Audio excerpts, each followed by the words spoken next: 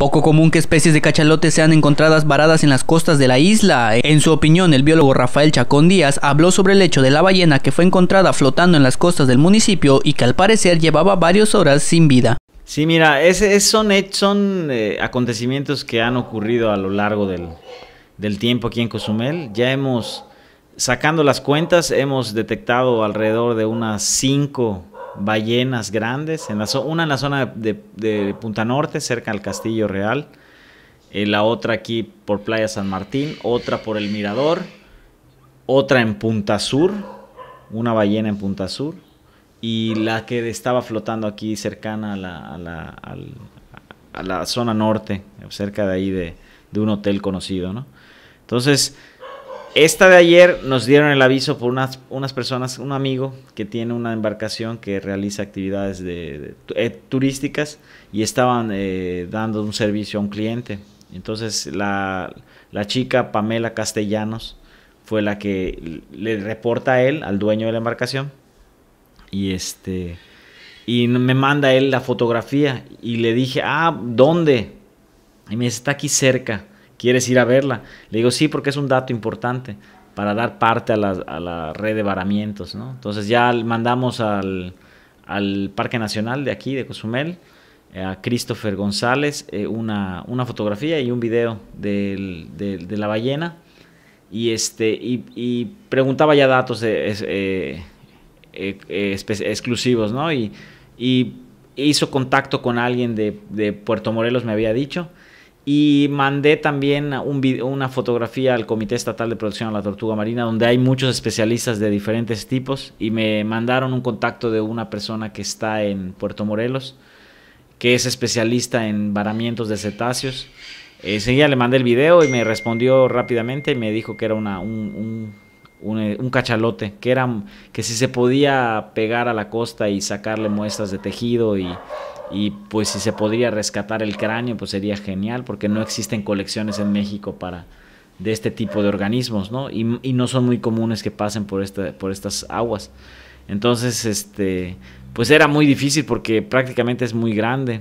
Entonces la corriente se la estaba llevando y pues ya yo creo que varará en algún sitio si no se va al fondo no sé.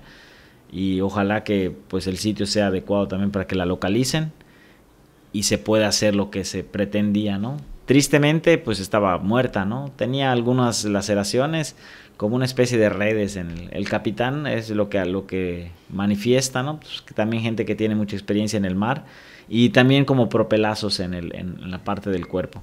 Entonces ya está prácticamente eh, flotando y, pues ya hinchada, ¿no? Ya con, con todo para ya empezar el proceso de descomposición.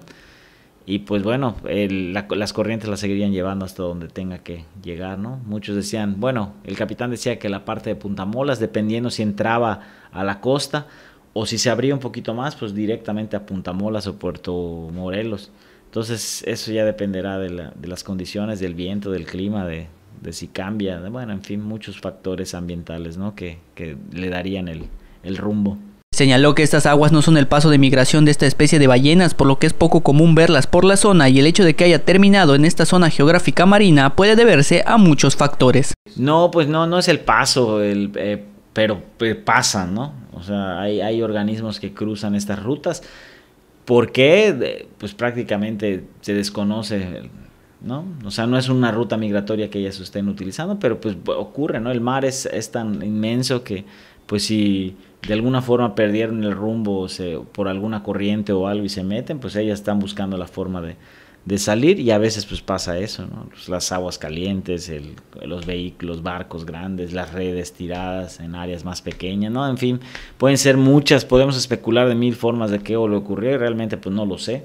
Solamente pudimos encontrar, gracias a estos amigos, esta, este ejemplar y pues a mí se me hizo muy interesante el, poderlo ir a ver y gracias a, a, que pues él accedió, pues me invitó y fuimos en, en su embarcación.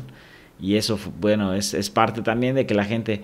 Había otros pescadores que lo que la habían visto y otros que estaban dando de, tours de buceo, pero pues, prácticamente nada más la vieron y como, ah, sí está flotando una ballena, ¿no? Y pues es cuando vemos que ah, le tenemos que tomar interés y, sería muy grato el, que la gente se diera cuenta que esos eventos son especiales y, que pueden avisar y, pues prácticamente no, no, no ocurre nada, ¿no? Nomás es tomar los datos, ver qué hay y establecerlo en la ruta migratoria. Siempre hay gente especializada en cada tema y pues tenemos que ayudar, ¿no?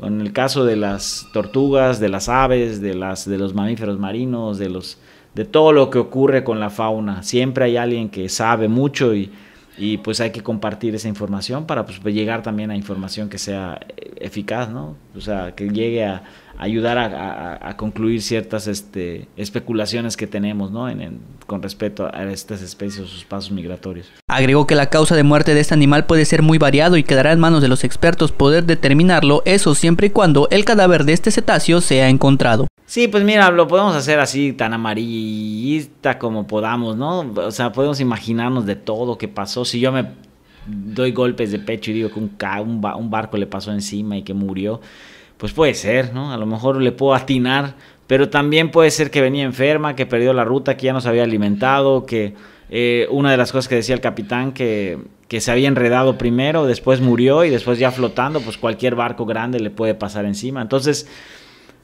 mil cosas pueden haber ocurrido y pues prácticamente solo la ballena lo sabe. Y, y, a menos que nos hubiera constado el que lo que hubiera ocurrido, ¿no? Si hubiera tenido las redes. Lo de las redes sí era un poco este, obvio porque hemos visto tortugas con redes en el, en el cuello y tenían esas marcas muy peculiares, ¿no? Y los propelazos, definitivo, pero el propelazo pudo haber sido antes o después, eso yo no lo sé, ¿no? Pudo haber sido la causa o no pudo haber sido la causa. La intención es que, bueno, estaba ya muerta y, las, y las causas de, la muerte, pues, pues prácticamente no las sabemos, ¿no? No, no puedo jugar al, al, al, al querer adivinar qué pasó y pero sí pueden ser, podemos especular muchas cosas, ¿no? Pero pues tristemente no lo sabremos porque pues no estábamos ahí. Y pues, a menos que alguien la, realmente la haya visto y le haya pasado la lancha o el barco encima, entonces pues, yo atropellé una ballena, pero si no, pues está complicado el saber qué, qué, qué realmente ocurrió. Pero sí tenía golpes. Información, Iván Maldonado, Reporteros Sin Fronteras.